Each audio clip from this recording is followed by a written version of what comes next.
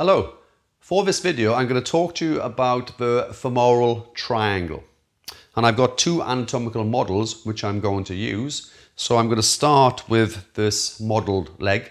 Uh, and that's probably the easiest one to show you. And then I'll use the, the pelvis anatomy just to, to fine tune some of the details.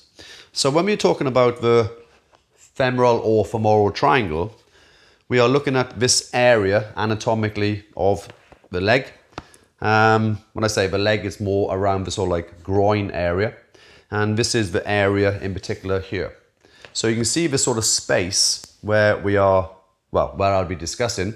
And if you're looking at a triangle, and the triangle formation will be by this muscle here, which is called the sartorius, which comes from the ASIS, which is the anterior superior iliac spine, and comes down all the way to the pes anserinus, which is the goose foot.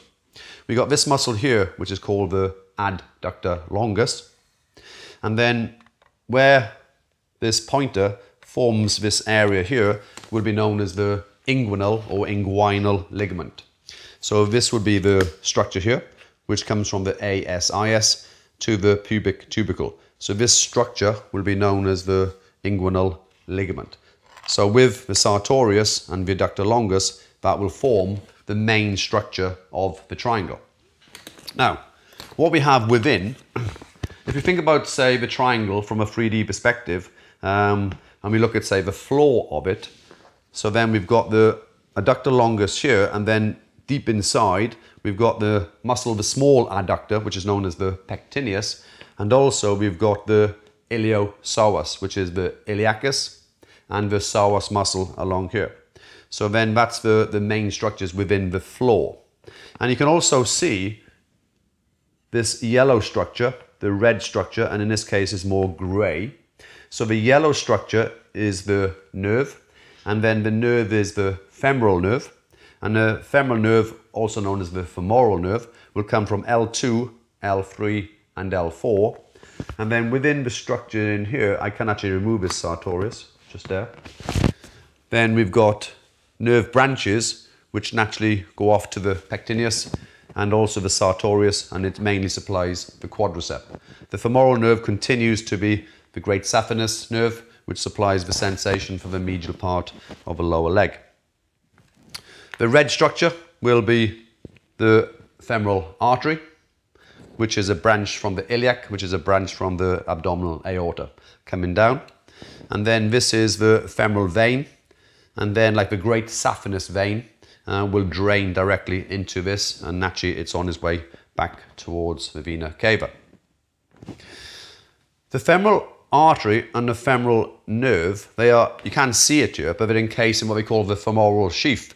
And also on this side in here, again, you can't see it, will be known as the femoral canal. And then within the femoral canal, there will be, I think it's like one main lymph node and a bit of fat that is stored like within that. You can actually get like a, a femoral herniation, it's quite rare, uh, but you can get one along that canal. We also have the lymphatic nodes. We've got uh, what we call like the superficial nodes and then this area, the main place for it to drain is like the distal foot. So the web space is between the toes here. So basically you can have an infection within the foot and then the first place for the T cells, the lymphocyte cells, to fight the infection will be within the actual inguinal, um, well, within the femoral triangle in here. So these are like the inguinal lymph nodes. And there's a superficial chain, and then there is a deep chain. And then from there, they'll eventually go into the thoracic duct, and then back into the um, circulatory system uh, as plasma. So that is the main structures. So just to recap, we'll have the sartorius, the adductor longus, the inguinal ligament, and then the main structures within the femoral nerve, the femoral artery, the femoral vein, and that's the main structures. And then we also got the femoral canal within. And then deep to that will be the pectineus and then the iliopsoas. Thank you for watching, and I hope you liked the video.